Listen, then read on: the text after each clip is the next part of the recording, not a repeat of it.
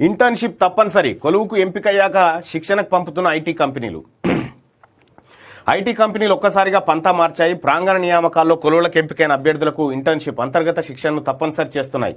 BTech ఏడవ సెమిస్టర్లో ఉన్న ఉన్నవారిని ఎంపిక చేసుకుంటున్న కంపెనీలు మూడు నాలుగు నెలల శిక్షణ తీసుకుంటున్నాయని తీసుకుంటున్నాయని దీనివల్ల పరస్పర ప్రయోజనం ఉంటుందని నిపుణులు అభిప్రాయపడుతున్నారు. సాధారణంగా కొలువుకి ఎంపిక కాకముందే పరిశ్రమలో పనిచేసే అనుభవం కోసం కంపెనీలు ఇంటర్న్షిప్లకు ఆహ్వానిస్తుంటాయి అని చెప్పి చూడదు చాలాసార్లు ఇది పాతదే ఇది కొత్తది ఏం లేదు. ఇదివరకు కూడా కామన్ అది. కామన్ అది.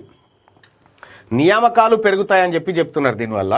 ప్రాంగణ నియామకాలు కూడా ఈసారి పెరుగుతాయని నిపుణులు అంచనా వేస్తున్నారు. అమెరికాలో లక్షల మంది ఉద్యోగాలు మానేయడం వల్ల భారత్కు ప్రాజెక్టులు పెరుగుతుండడం కూడా ఒక కారణమని విశ్లేషిస్తున్నారు.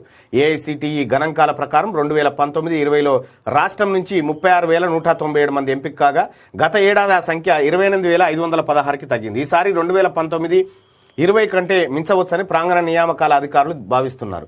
అసలు ఈ వార్త ఎందుకు అది ఒకటి ఒకటి గుర్తుపెట్టినా నిన్ననో మొన్ననో ఐటీ అద్భుతం జరుగుతుందని అద్భుతం జరుగుతుంది. మొత్తం ఇక్కడ పదిహేను వందల కంపెనీలు ఇక్కడికి వచ్చినాయి. వచ్చినాయని హైదరాబాద్లో మొత్తం ఇట్లా దానికి దాన్ని ఇంకా బూస్టప్ ఇచ్చేటువంటి వార్త. దాన్ని సపోర్ట్ చేస్తూ రాసిన సార్కు చిన్న సార్కు.